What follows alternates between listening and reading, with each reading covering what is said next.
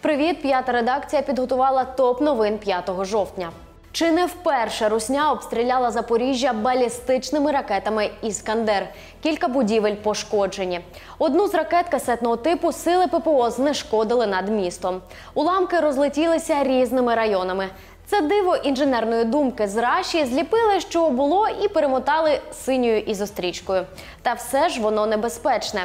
По обіді розмінували місця, де впали залишки ракети. 40 мільйонів гривень для Запорізького облводоканалу. Комунальникам погасять борги по зарплаті. Кошти на це виділили з резерву держбюджету. Ще один російський комплекс С-300 в районі Токмака знищили наші захисники. Накрили також ворожі позиції у районі Оріхова та Гуляйполя.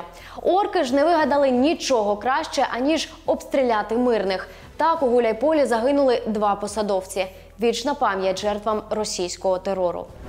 Рашисти замінували перший та другий енергоблоки Запорізької АЕС. Нині всі шість енергоблоків на станції у стані холодної зупинки.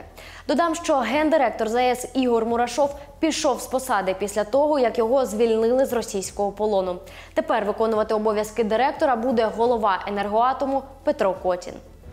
Державний кордон у Васильівці звучить абсурдно, але на думку окупантів все цілком логічно. Тож вони і почали кордон облаштовувати. Ймовірно, так рашисти намагаються втримати хоч якусь частину Запорізької області. Спойлер нічого не вдасться.